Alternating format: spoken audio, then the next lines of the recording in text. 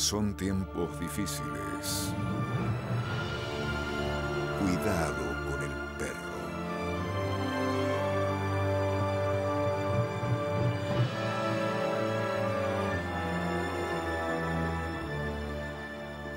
Buenas noches. La idea del Bobby de conocer permanentemente a personas vinculadas con el quehacer cultural mendocino, particularmente, y en esa línea, hoy el gusto de recibir a un escenógrafo muy respetado, con mucho prestigio, vinculado en notable medida al mundo de la vendimia y también a, expresiones teatrales y, de ópera y de distintos niveles de, expresión artística. El gusto de recibir a Tito Velón. ¿Cómo estamos, Tito? Muy bien, muy bien. Muchas gracias por la invitación y acá estamos para charlar un ratito. ¿Cómo empezó esta historia con la escenografía? ¿Cómo empieza? Sí. Mira, este, yo empecé con ingeniería. Después pues, venía de un colegio técnico, empiezo con ingeniería, pero no, no era lo mío. Así que eh, un compañero de trabajo me dice que existe la carrera de escenografía que yo no conocía y y así fui, averigüé y descubrí la verdad, la pasión por, el, por lo que hago, ¿no? por la escenografía.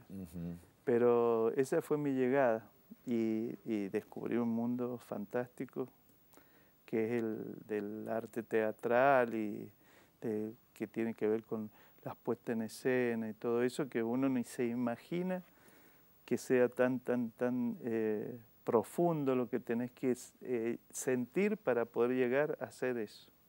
¿Y cómo describirías, ya de algún modo contestaste a dónde estoy yendo, cómo describirías esa pasión por lo escenográfico con, más detalles? No sé, porque, a ver, pasión, te digo, porque yo creo que en todo lo que uno hace tiene que haber pasión, pero eh,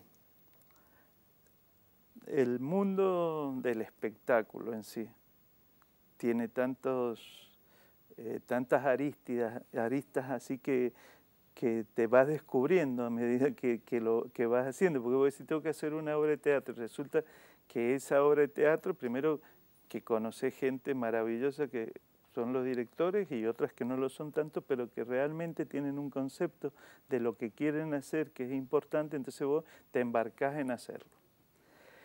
Y después te vas, este, este intercambio así de ideas, de, de puestas, de, que por qué eh, quieren, porque hubo una época, de, te digo, yo estoy desde el 86 siendo, que me recibí en el 86.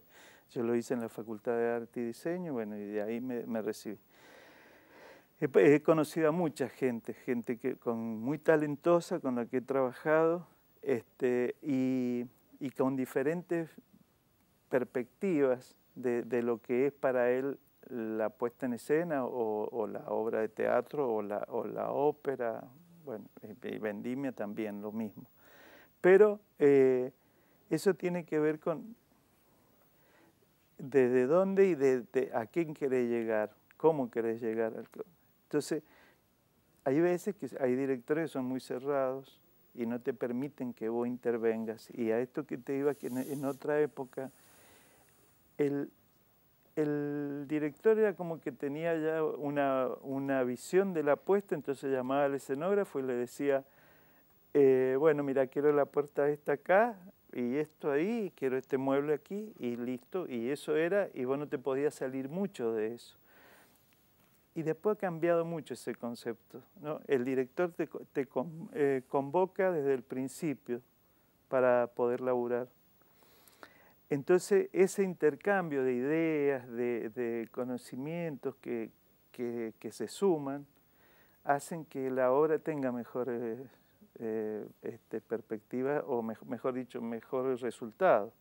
Entonces, eh, por eso te digo, y la pasión está en eso, que cuando vos te metes por ahí ni dormí, nada, porque no te das cuenta, estás metido, tenés que terminar, tenés que hacer, qué sé yo, yo.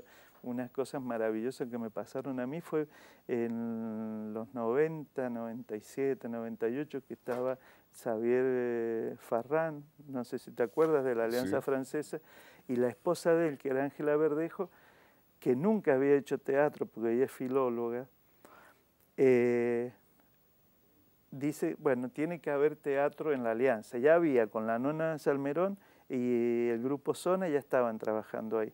Pero no, nos convoca, ella nos convoca a hacer teatro, pero ella era especialista en Beckett. Entonces hacemos obras de Beckett, nada más. Y fue una cosa muy curiosa porque ella es chilena, pero con formación en Europa, porque sus padres son exiliados, qué sé yo, bueno, termina ya de muy chica, de muy chica, entonces se forma en Bélgica. Y, yo no la conocía, entonces viene una extranjera, ¿viste? Uno tiene ese temor. Y ella lo mismo pensaba, eso lo hablamos después, pensaba lo mismo un profesor de la universidad.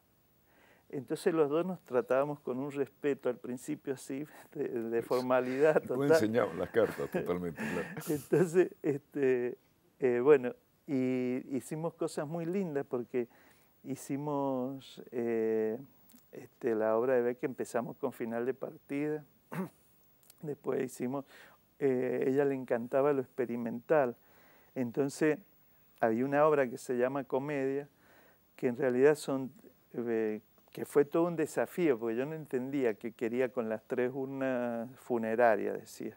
Y eran los actores, estaban dentro de, como si fuesen unos jarrones, y lo único que se le ve la cabeza. Y el texto para ellos era re difícil, porque tiene mucho, mucho texto la obra. Y el, el protagónico de la obra es la luz. Entonces tuvimos que inventarnos unos conos así, todo casero, porque en ese momento era de teatro eh, independiente, pero pobre, muy pobre ahí en la Alianza, a pesar de que teníamos ciertos recursos. Entonces nos inventamos unos conos y le daba nada más que en la cara a cada personaje. Y, entonces eh, había uno que le llamábamos la luz móvil y otra que era la fija, que los alumbraba a los tres juntos, y si no, una, una actriz que era la que se tenía que saber el parlamento de todos, ir cara por cara para darle el texto. Con esa obra tuvimos la suerte de ganar el provincial, después fuimos a Rosario. Fue una experiencia muy linda y después ellas mismas estaban en Bolivia, porque cada cuatro años eh, los directores de Alianza se tienen que ir a otro lugar. Estaban en Bolivia, entonces ella nos convocó para ir al, al Festival Internacional de Teatro allá y nos fue fantástico, la verdad, con esa obra. Y este, por eso te digo, de la impronta del director o de quién está, que es la cabeza del elenco, influye mucho en qué es lo que vas a hacer vos. Como porque, qué sé yo, siempre, y, y, ella tenía eso de que tenías que aprender estudiando. Y también la consulta, porque yo puedo ser director y te convoco y te pregunto, bueno, Tito, ¿qué enfoque tenés vos? ¿Qué idea tenés? Está bueno eso. Por eso, eso, por eso te digo, no todos lo hacen, pero la mayoría tiene una idea. Y vos llevas idea, trabajas mucho ese proceso creativo que hay al principio, que, vos tenés que estar... Eh, yo siempre, siempre me he preocupado porque creo en la humildad del artista, porque en la soberbia esa que uno tiene cuando yo soy escenógrafo muchos años y sé mucho, es una mentira. Porque cada, cada una de las cosas que, que tenés que hacer es el desafío que se te da. Entonces, no siempre te va a ir igual. Y bueno, yo con los alumnos siempre trato de inculcarle eso, porque los chicos, viste, qué sé yo, ahora es, es un problema generacional, son muy chiquitos, yo este, lo he sufrido que antes me trataban todos de, vos y de golpe te tratan de usted y vos ya ahí notas, hay una cosa, bueno, eso mismo lo piensa en lo que, que uno a lo mejor tenés como limitaciones, y lo que hablábamos antes que de la tecnología, por ejemplo. Entonces ellos, viste, no, pero que, que esto es mejor hacerlo así. Y bueno, tenés todo un trabajo extra de explicarle que no siempre la tecnología te salva, porque eh, eh, vos, el, eh, cualquier proyecto teatral o, de, espectáculo, de espectáculo, cualquier proyecto, tiene que tener varios ingredientes y esos ingredientes te llevan a que tiene que ser una cosa realmente que emocione, depende de lo que sea, lo, que uno siente como cuando vos que has actuado y todo eso, ese proceso creativo que tiene el actor de hacer el personaje, todo eso pasa en el espectáculo y el fin es eh, eh, transmitir al público lo que realmente está pasando. Entonces yo por ahí lleno, a mí me ha pasado con algunas vendimias, por ejemplo, te digo que ha sido todo imagen, imagen, imagen, imagen, y me ha cansado eso, porque no había un contenido de, texto, de lo que, o sea, era como incoherente con, con el relato de la, de, la, de la vendimia, por ejemplo. Entonces, hay conceptos, o hay directores que dicen que el texto ni lo escucha la gente, y yo te puedo asegurar que sí, lo, escucha y es muy emotivo. Nosotros cuando hicimos la del 2013, eh, bueno, recién hablábamos del Aristide, Aristides Vargas. El, el Aristide, por ejemplo, en el 2013, en la vendimia,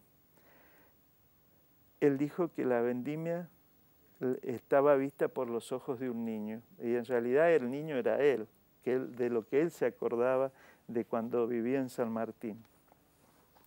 Entonces va haciendo todo este, esto, el, qué sé yo, tenía, de los cuadros no me los acuerdo todos, pero había un cuadro que decía, bueno, empieza con los inmigrantes, que eran sus abuelos, y entonces habían dos personajes que eran eh, la abuela y el abuelo español, eh, que eran españoles. Entonces, eh, nosotros en la, en la, utilería nos tocó hacer dos sillas gigantes, porque era como lo veía el niño, el niño lo veía a sus abuelos gigantes. Entonces, que lo hacía la Alicia y, el Gustavo Cortés, la Alicia Casares y Gustavo Cortés, los abuelos, los viejos. Bueno, y entonces ese concepto del niño, del, hasta que la madre lo va guiando y lo lleva a la fiesta de la vendimia, bueno, y así más o menos termina, pero en eso metió eh, este, los, el homenaje a Fabio, todo, pero con una coherencia de relato que no cualquiera lo puede hacer. Coherencia de relato. Me interesa mucho el aspecto de la vendimia y tuve experiencia respecto de ese tema, pero daría otra vueltita por el concepto de escenografía. Alguna vez escuché o leí, la escenografía no debe ser tan buena porque al ser tan buena termina siendo casi mala porque compite con el texto y compite con la propia puesta en escena. ¿Cuál es el espíritu central? ¿Cuándo es muy buena una escenografía? ¿Qué, qué aporta a una obra de teatro, por, por enfocarlo? Es que no, no puede, o sea, ese es mi concepto personal, ¿no? La escenografía no puede estar despegada del, del hecho teatral. Si hablamos de teatro, del hecho teatral en sí. Porque esto que vos decís, yo, yo me luzco como escenógrafo y no tiene nada que ver con lo que se dice y lo que se hace. Entonces, la escenografía acompaña a todo, ¿no? Acompaña eh, eh, una puerta, suponete, vos la pones a la puerta acá y resulta que le es tan incómodo al actor entrar por esa puerta, porque a mí como escenógrafo me gusta y me queda bonita, por decirlo así, y resulta que, lo, que entra tan incómodo el actor que a lo mejor la escena se frustra por eso, porque no entró cómodamente. Entonces vos tenés, por eso es interesante que empiece desde el principio el director hablando con el escenógrafo, porque vos vas diciendo, mira, eh, acá, qué sé yo, y ver los ensayos. Eso es muy importante, porque ver el ensayo a vos te dice cómo, cómo tenés que espacialmente distribuirlo, los elementos que van y todo, para que permita que, que, el actor o que fluya el actor en un espacio, depende de la obra, porque por ahí necesita que el actor esté incómodo dentro de la obra, pero digo, una obra común se tiene que eh, mover el actor eh, cómodamente en la apuesta, ¿no? Entonces, hay, hay, veces que vos llenás de cosas porque yo me voy a lucir. Y, no, al contrario, bueno, mira, es, dice que hay que generar espacio dentro del espacio. Ese sería el concepto de lo escenográfico. A la, a la pucha, Entonces, generar espacio dentro del espacio. Tito, vamos a una pausa y seguimos hablando. ¿cómo no? ¿Ah? Bueno, un gusto que hayas venido. Ya volvemos, cuidado con el perro.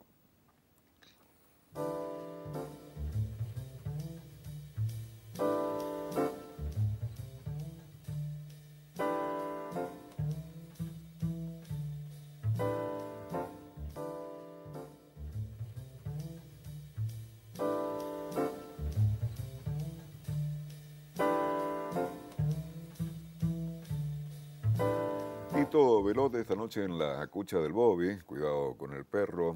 La tengo en un sentido genérico, con asociaciones gruesas. Por ejemplo, escenográficamente, yo te digo Shakespeare.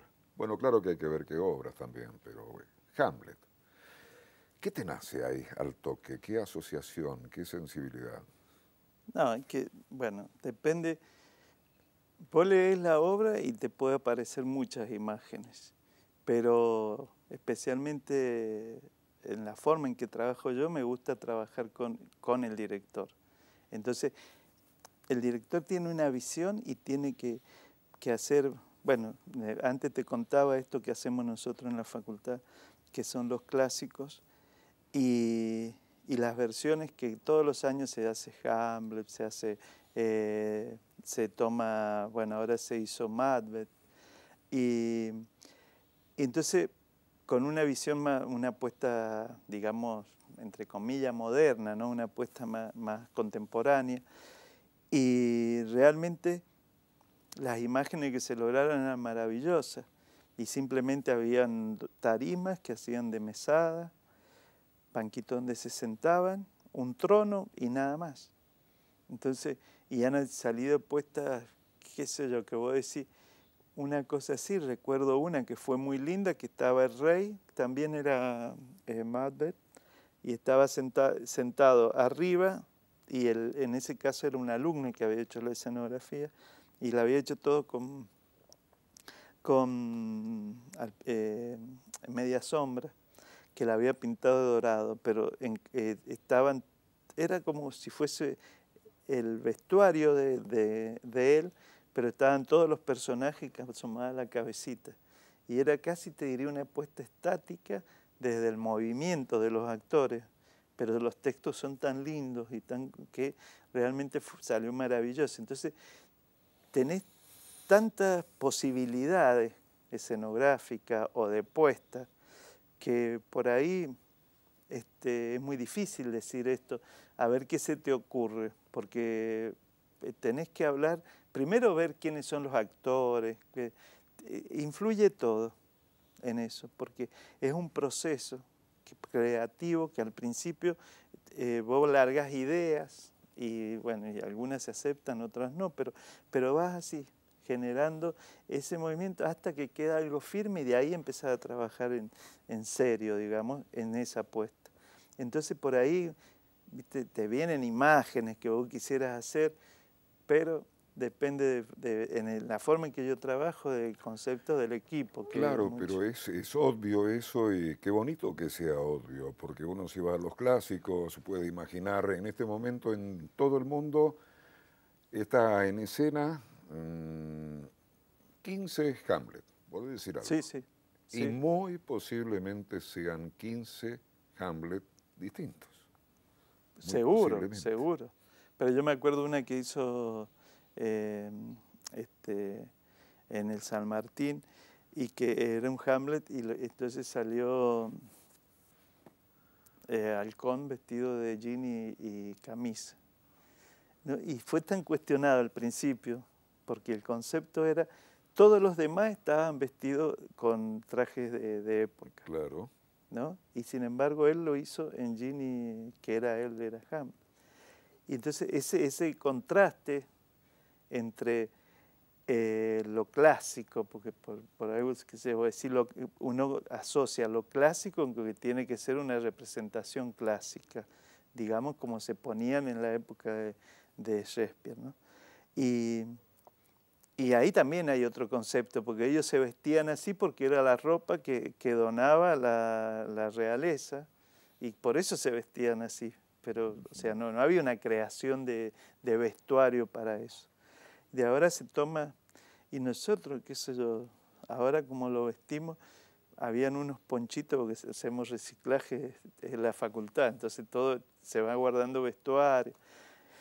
Y habían unos ponchos que tenía Ricardo Tello, que él es eh, el profesor de vestuario y caracterización en la facultad, entonces se trabaja en conjunto. Y unos ponchos que habíamos usado en una carmina burana que hicimos con la Vilma y en los coros eh, de niños y de adultos. Sí, Vilma Rupor. Este, eh, los coros de niños y los coros de adultos. Y los de adultos también era muchísima gente, el presupuesto era poco y se compró una tela y se le puso una tira de color eh, bordó a una tela gris oscura y habían quedado esos ponchitos que estaban por ahí. Y con eso los chicos se lo enroscaron y hicimos un vestuario que se veía fantástico. Entonces también la parte creativa tiene mucho que ver con esta apuesta y de necesidades, porque, qué sé yo, eh, se va surgiendo a medida que va haciendo, porque uno, han habido escenógrafos, eh, eh, vestuaristas especialmente, que hacen trajes muy lindos, todo resulta que cuando se lo ponen la actriz o el actor estaba imposibilitado de movimiento. Y entonces, ¿cómo es si vos no sos en función de... Yo creo eso, o sea, el escenógrafo, el vestuarista, tiene que trabajar en función de la apuesta en general, pero más que nada en la comodidad del actor.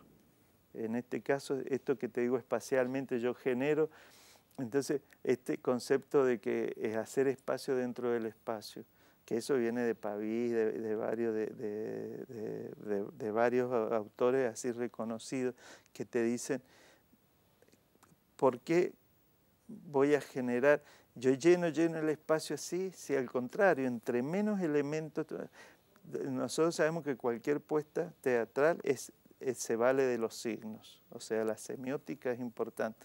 Entonces, cualquier elemento que hay en una, en, una escenografía, en esta misma, estamos acá, está esa copa de vino, ninguno de los dos hubiéramos tomado, yo te puedo asegurar que hubiera hecho ruido.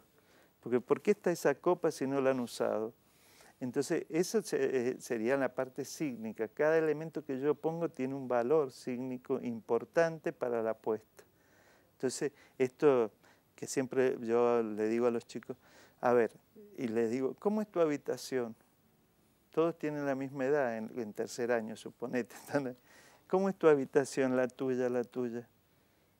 Está bien, ¿por qué? Porque vos tenés una mochila que cargás por la familiar, por la forma en el colegio que fuiste, que te gustaba cierto artista y lo pones en un afiche o, no, y este, a otra le gusta toda la ser pulcra, y le digo, bueno, y todos tienen la misma edad, viven en el mismo país, están estudiando la misma carrera.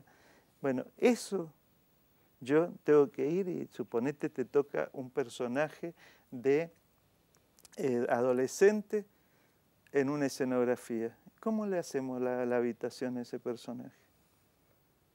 ¿Eh? Es lo mismo que yo ponga, que le ponga fichas, que, eh, afiches que me identifiquen con, con unos gustos determinados o, o agarro y empiezo a averiguarme, y, pero primero tengo que ver qué característica tiene ese personaje, y entonces ahí voy a saber qué le pongo. Si es una, una chica de 19 años que es aniñada y todavía juega con muñequita y no se quiere despegar de su adolescencia o de su infancia, va a tener las muñequitas guardadas y todo. Bueno, eso, esos signos que parecen insignificantes hacen a que el personaje también se sienta cómodo en ese espacio, que es lo que uno tiene que hacer. Sí, estaba asociando con lo obvio también. De algún modo el arte es un espejo de la vida o aquello de Oscar Wilde que invierte. La naturaleza imita al arte, eh, con esa inteligencia y esa, esa sagacidad de Oscar Wilde. Pero hay que robarle a la vida, robarle en el mejor de los sentidos. Por ejemplo, vos pones a un alumno en una práctica de una clase de televisión y, está rígido. Yo les digo, por ejemplo, a los chicos también, como habla de los chicos, y uno tiene vicios de docencia también, vayan a un café y vean cómo hablan los seres humanos y cómo están en la vida y no están en un estudio de televisión, ni piensan en las manos y las mueven maravillosamente. de algún modo. Pero en lo cotidiano usas eso, usas todo el cuerpo. Y cuando te inhibe algo como esto de venir y pararte delante de una cámara, o, o cuando aparecen con el público. el otro día nos pasaba con una alumna haciendo la este, Lorca, ¿no? Ella hacía la madre en boda de sangre. Y le costó muchísimo hacerlo, ¿no? Porque físicamente, así de, demostrar. Y, lo, y fue avanzando y fue avanzando. Y salió la previa que le llamamos nosotros, que es la semana anterior, donde hacen la apuesta con vestuario, con todo. Muy bien, muy bien. Nos emocionamos, nosotros que estábamos en el público, nos emocionó ella en la apuesta que vemos. Y el día de la, de la función no le salió tan bien. Entonces, y ella dice que cuando pisé el escenario y vi que estaba toda esa gente, claro, nunca lo habíamos hecho con público. Entonces se sintió muy inhibida para hacerlo, lo sacó, lo hizo, por supuesto, pero digo, fue otra la calidad de la actuación. Y entonces, bueno, son diferentes formas de pensar, por ejemplo, si el actor tiene que actuar frente a público, o qué sé yo, frente a cámara, porque también es otra técnica frente a cámara. Eh, este, tiene que practicar haciendo eso. Entonces por ahí yo siempre he sido de la idea que en la facultad nosotros nos falla no mostrar lo que pasa en el aula, porque queda, hay cosas muy lindas de que los chicos actúan muy bien, todo, y quedó en el aula, lo vieron sus compañeros nada más. Y nosotros tendríamos que mostrar más lo que se hace, porque también lo foguea al alumno que esté frente a, público. Y eso lo, ayuda en la actuación. Y bueno, y en la, parte de escenografía, eh, qué sé yo, hay de todo, ¿no? Pero eh, lo que te hace que vos seas mejor, no sé si mejor, pero que sí es la práctica, ¿no? Que vos sepas hacer. Yo uso una madera determinada que me parece que va a ser fantástica y cuando está en el teatro no sirve para nada, no se ve, no luce. Y es una madera a lo mejor carísima, sin embargo lo hago con un pedazo de álamo todo, y lo sé pintar y, y entonces eso toma un realce que le da un carácter, que es lo que necesitaba yo para esa escenografía. Entonces, eso de los materiales, el uso de los materiales, de cómo, cómo lo ensamblás uno con otro. Este, yo cuando hice eh, la, que, yo me sorprendí, por eso lo voy a contar. Cuando hice final de partida, resulta que, la, que Ángela Verdejo, que te hablaba antes del grupo Macach, eh, ella quería como un proyecto así, que para hacer final de partida era todo telones de, como de, gasa que se abrían y que encerraban a la obra adentro. Trabajaba el Troncoso y el Pascual, eh, el Alberto Pascual eran los protagónicos, el Pierre Marquillet, que era un francés, hacía uno de los padres y la Alicia eh, Andriani hacía el otro padre, ¿no? que están adentro de unos eh, barriles. barriles. bueno. Entonces, de golpe, yo no sé si, si, te ubicas en la Alianza Francesa, la sala de arriba, bueno, tiene un escenario muy pequeño, muy pequeño, sí, chiquitito. ¿sabes qué? Estoy pensando, la vi esa hora. la vi, me acuerdo. Entonces, cuando lo hizo era un búnker. Todo se va en un búnker de ellos, que, que vos no sabés que si es la guerra, si es el fin del mundo, lo que pasa afuera. Entonces, la obra desarrolla esa cosa.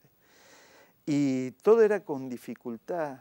Bueno, entonces yo lo hice lienzo eh, los trastos de lienzo y era como cónico, así, bien, bien extraño me quedó. Me quedó porque también era como una experimentación que estaba haciendo.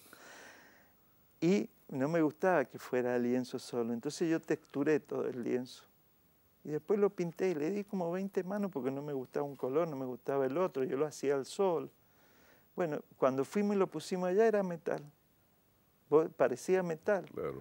Entonces eh, eh, me sorprendió, pues te me sorprendió a mí mismo ver eso, que también tiene esto de, eh, uno tiene como una idea fija de lo que y el proceso creativo cuando vas pintando todo eso te lleva a que te modifique a lo mejor el proyecto original.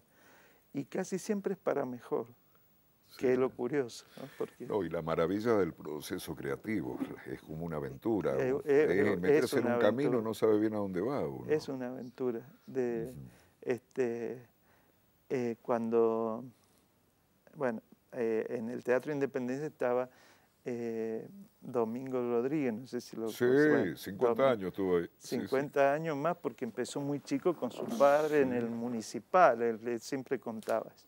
Entonces era, era una persona como, como rara en el sentido de que siempre te ponía obstáculos para cuando vos ibas y ellos son los dueños del teatro en realidad, era así. Entonces, y este, nosotros ganamos con Luis Gatás, que es un arquitecto, una, una, en el 97, un concurso que hubo para la ópera tosca eh, en, el, en el Independencia. Estaba el diario Los Andes, Clarín y no sé qué otra empresa que eran los que ponían el dinero y era un concurso nacional. Bueno, nosotros nos presentamos seis grupos todos de la facultad. Y nosotros tuvimos la suerte de ganarlo. Pero antes de eso habíamos hablado que el grupo que ganaba tenía que dejar trabajar a los otros. Eran totalmente diferentes un proyecto del otro. Ninguno fue igual. Y Constantino Yuri, que era un, que es todavía, porque vive eh, un, este, un reyes que vino mucho tiempo acá a Mendoza a hacer puesta todo a él le gustó porque decía, por eso ahí te digo, fíjate vos lo que es el concepto, ¿no? La mayoría habían hecho cosas como moderna y él dijo, Tosca no puede ser, porque Tosca te marca tres espacios muy definidos, que es el, este, una iglesia determinada, el, el castillo de Sant'Angelo, eh, y el palacio, entonces, pero que existen, te da nombres y todo, entonces no podés variar mucho eso. Y, Tito, no, no, pierdas la línea de recuerdo. Eh. Eh, vamos a la pausa y completar lo que estás diciendo. ¿ah? Bueno, muy bien. ¿Te gusta el vino, no? Sí, claro. Salud, ya volvemos. Thank you.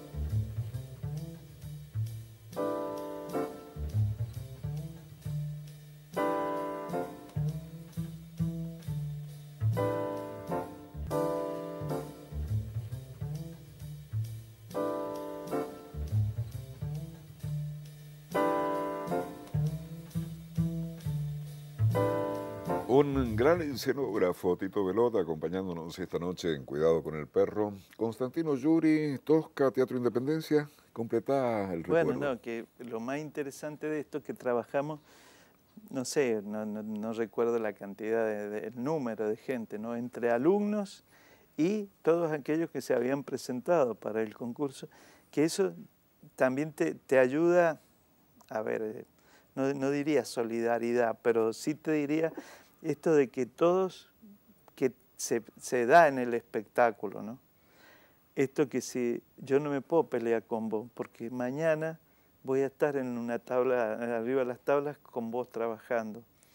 Y eso, el ego, la soberbia, todo eso del artista, del espectáculo en sí, viste, siempre pienso yo, ¿no? Son, son pensamientos totalmente personales, que eh, tenés que dejar de lado eso porque mañana me, me llamás, qué sé yo, nos pasa, en, en, Vendimia pasa más, porque te va, por ahí no trabajás por año con un departamento, después te llaman y venís, bueno, entonces, en, especialmente en esta tosca, trabajamos todo, y domingo, no sabes lo que nos hizo sufrir, porque él, todo estaba mal, todo estaba bien, él, él participó, todo, todo está mal, todo así, entonces nosotros, qué sé yo, era un, era un compromiso muy grande, muy grande para hacerlo, porque son tres actos, lo, totalmente se cambiaba de un acto al otro.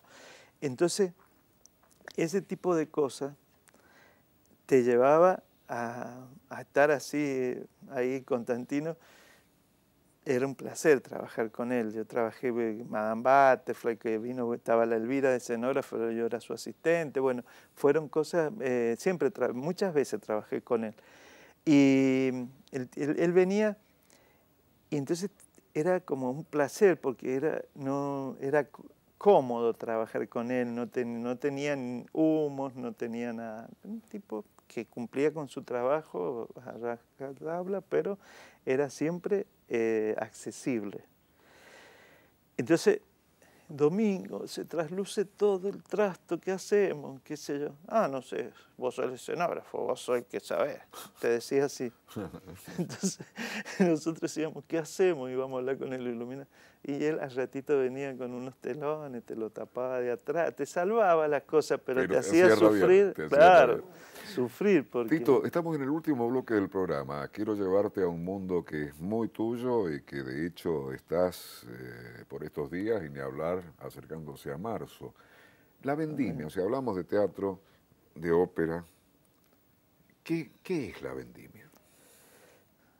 Uy, eso... La vendimia, la fiesta de la vendimia. No, no, no, sí, te entiendo, te entiendo. Este, qué sé yo, bueno, es que tengo que volver a hablar de la pasión porque la vendimia, por ejemplo, eh, aquellos que no la han vivido, ¿no? Vos cuando probás, así como probás el vino y te volvés adicto a un buen vino, pasa eso con la vendimia. La vendimia, hay muchos géneros, que mucha gente que lo cree que, es un género secundario en muchas cosas. Eh, nosotros hicimos todo una... Este, fue creciendo mucho la puesta en escena, porque, qué sé yo, Abelardo Vázquez, todo eso, que tenía unos libretos maravillosos, que, se hacía. Entonces, profesionalmente, eh, sin desmerecer ese momento, ¿no? bailaba cualquier eh, persona que le quisiera bailar, no, estaba remunerado el, el, artista. Entonces eso permitía que fuera una cosa, especialmente en el rubro que yo hago, que la utilería también era como de relleno, eh, los actores no tenían protagonismo, era nada más que como una fiesta donde se manifestaba la danza, este, un hilo conductor de algo y bueno, y así fue pasando. Este, y eso fue creciendo, y vos sabés la historia de la caja lumínica, que es cuando aparece el la televisión, que realmente no, no se veía, por la luz no se veía, entonces había que poner una pantalla, y así aparece la caja lumínica, que es una, una creación mendocina, y, y que, que, es insustituible. No, no hay, porque ahora todos quieren pantalla LED, todo, pero el efecto que te da la caja lumínica y la posibilidad es como que no te la, no te la da lo otro. O sea, a pesar que yo pueda cambiar imágenes, todo, eh, la calidez, te diría yo, que da la caja lumínica no la da lo otro. Entonces, después le empieza a, como a generarse esta necesidad de que se repartan los roles. Entonces el, bailarín folclórico tiene mucho que ver porque es una fiesta antropológica, es tradicional, hay tradición, todo eso, pero también la parte actoral tiene que estar. Entonces se empieza a dar un porcentaje más al actor que esté. Y eso también pide que la utilería eh, crezca porque ya el actor tiene, necesita elementos para hacerlo. Recordemos que el espacio es muy grande del, escenario del teatro griego. Entonces todo hay que como, duplicar, no digo duplicar la medida, pero sí los elementos, y, haciendo cosas que te llevan a que esto vaya creciendo en nivel eh, este, de calidad de la utilería. Y otra cosa es la televisión, por supuesto. Ahora se filma, entonces llega, y ese concepto va cambiando de a poquito de mejorar todo eso. Claro, pero ¿cómo decirte? Olvidémonos, saquemos la televisión, pensemos en el espacio físico. Tenemos un problema, el, el espacio del escenario, un, escenario que tiene una boca de 130 metros. Sí, más o menos. Eh, es muy grande y hay gente que mira desde muy lejos, mucha gente, de toda la gente que está. Entonces, ahí tenemos un hago una traducción torpe, ¿no? Sí, sí, no, tenemos un problema, ¿qué, es lo que pasa? ¿Qué hacemos con la escenografía y qué hacemos con la utilería? Utilería mayor y utilería menor. Este, ahí viene el problema del almacenaje, aunque te parezca. O sea, uno piensa la utilería para ver dónde lo va, o sea, por eso trabaja mucho en conjunto con el escenógrafo entonces, eh, vos decís, uno ve un, espacio lindo, el escenario lindo, todo, pero no te olvides que hay, mira, para la vendimia del 2018 yo tengo, eh, son casi 62 eh, rubros, eh, ítems se llama, ítem 1, ítem 2. Algunos de esos ítems son 100, 150 elementos. Entonces, a ver, ¿dónde guardo yo esos elementos? Entonces, todo eso, el escenógrafo que pareciera que tiene como, como eh, visualmente así, que satisfacer eso de la, parte visual, que quede lindo. No, tiene que romperse la cabeza por debajo de los escenarios donde se pueda almacenar, porque, y ni te cuento los directores, porque dicen, a ver, salen 100 eh, eh, folclóricos aquí, 100 allá, todo. Bueno, pero esos 100 vienen con el mismo elemento que los que están en el, en el piso, a nivel de piso, que los que están arriba. ¿Y por, ¿Y por dónde sacan? ¿Dónde almacenan eso para entrar? Pero es maravilloso, porque uno está acostumbrado a ver lo que pasa en el escenario. Pasa, Vos estás hablando de la logística. De, de la logística y es lo que te lleva. Claro. Entonces todo eso que también te puede que los directores tengan que cambiar la apuesta, porque dice, bueno, pero vos te acuerdas de la del 2001 que eran los títeres gigantes. Sí. Bueno, este, que creo que fue así como maravilloso lo que se hizo con esos títeres. Todo. Eso llevó, creo que, la, que llevó el 90% de la fiesta a ver cómo entraban, porque claro, este, el carro que los tenían 6 metros de, la, de alto, nada más que al estar sentados se veían más chicos, pero eso estaban sobre un carro montado con un peso tremendo que tenía, pero resulta que tenía que estar lo que se llama la Pampita, que es un escenario que está al costado derecho del, del teatro griego. Entonces, por ahí baja una rampa y llega al escenario 1. Entonces, cuando venía el, eh, que fueron los primeros ensayos, venía eso con un malacate porque pesaba todo, se clavó y no lo podíamos mover. Entonces hubo que hacer, ya en la última semana, hacer como una especie de gusano que se llama cortarlo para que quedara móvil, así pudiera pasar. Entonces, bueno, ese tipo de imprevistos que te, te aparecen con eso, y después, qué sé yo, los caballos en el 2010, que eran esos caballos gigantes que te contaba anteriormente, que eran cuatro, que tenía que ver con, con, el libreto, que era el pobre, el caballo trabajador, el caballo joven, el caballo viejo y el caballo de la libertad, también salían por diferentes lugares y cómo hacías para, para que saliera. Entonces había que inventarse un lugar, el escenógrafo, para que pueda... Disculpame lo obvio. Yo sí algo aprendido en otros rubros, en la vendimia, es que todos son hechos físicos. Son hechos físicos concretos. Vos estás diciendo por dónde sale, pero también hay que decir quién, eh, a ver, Tito, Mabel, eh, Pincho, ¿Quiénes lo va a llevar? Es, una, apuesta milimétrica. Pero vos pensás que esos caballos, los caballos, estaban eh, manejados por titiriteros que eran 10 cada uno. O sea, vos pensás el, elemento, que en este caso es el caballo, más las 10 personas esas que tienen que estar escondidas en un lugar y permitir que, que eh, la parte de digamos, de estructural del caballo, con la rueda y todo, funcione y pasen por algún lugar de, qué sé yo, lo imprevisto de la vendimia. En el 2013 entra un camión a la, escena, entonces el escenógrafo, el piso lo refuerza porque entraba por acá. ¿Y qué pasa? Viene la previa y no, los, los músicos que vienen después en la segunda y tercera noche, cuarta, cuando ha habido. Entonces, ponen todos los equipos y el camión pasa por acá y claro, no tenía el sostén de eso, entonces medio que se hunde el escenario, después tenían que bailar la gente. O sea, bueno, todos esos imprevistos que te pasan, que no fue culpa del staff artístico, porque va a ser tu puesta en escena para eso. Entonces, después, bueno, eh, este otra cosa, esto, esto que yo te decía antes, que por ahí esos roces que uno tiene con porque la parte artística, cuando eh, que ellos le, llaman lo, de la segunda y tercera noche, que vienen y cantan y todo eso, eso lo tenés que hablar con el equipo creativo, con el staff creativo, porque ellos tienen una apuesta y la apuesta se tiene que respetar la primera, la segunda y la tercera noche, sí o sí, porque eso es lo que ganó y eso es lo que se muestra. Entonces, cuando no, no, no hay, este, está aceitado este diálogo entre, entre el staff y la, y la gente de, de, que, no se juntan y tendrían que trabajar juntos, eh, pasa esto que te digo, que fue una cosa que después lo arreglamos porque a la otra noche reforzamos, pero tuvo que trabajar la gente extra para hacerlo. Entonces, viste, son pequeñas cosas que te pasan y que no ha pasado en Vendimia.